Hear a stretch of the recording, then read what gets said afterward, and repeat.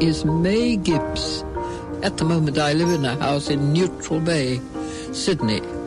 And it's a dear little place with a long, long garden.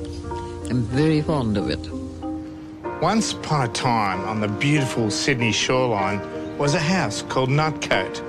And in that house lived a remarkable woman called May Gibbs, who turned gumnuts into tiny people and Banksias into villains. So while the likes of Kenneth Grahame and Beatrix Potter populated the country lanes and hedgerows of Britain with Mr Toad, Ratty, Jemima Puddle Duck and Peter Rabbit, May Gibbs was doing the same here, turning the Australian bush into a fantasy wonderland.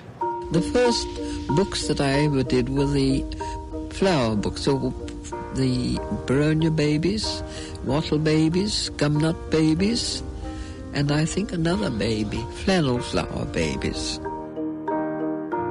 I used to walk about the garden, weeding the garden and loving it, with a book in my pocket and a pencil.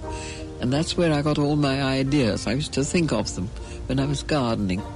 Every one of those botanical drawings or artwork that she uses is botanically correct. You can identify every plant and flower that she drew, and uh, they're all amazingly accurate.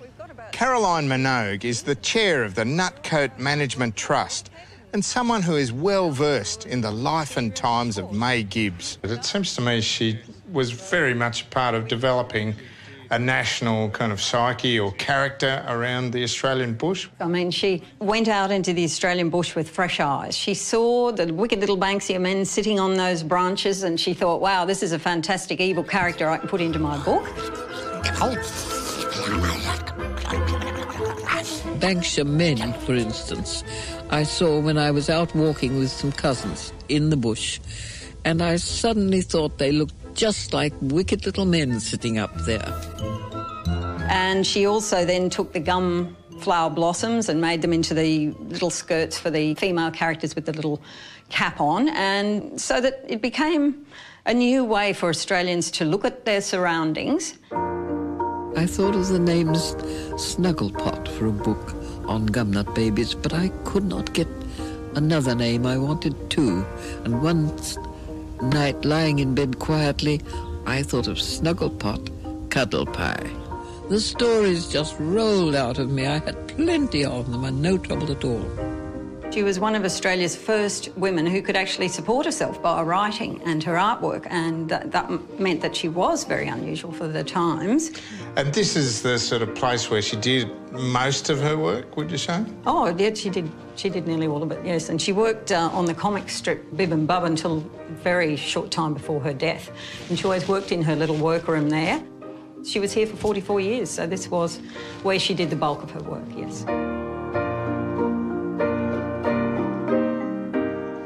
And the garden is uh, uh, quite an interesting thing to me. There's there's a lot of exotic plants there. You would imagine there'd be a lot of banksias and yes. Christmas bells and. Well, a lot of our, our visitors find that.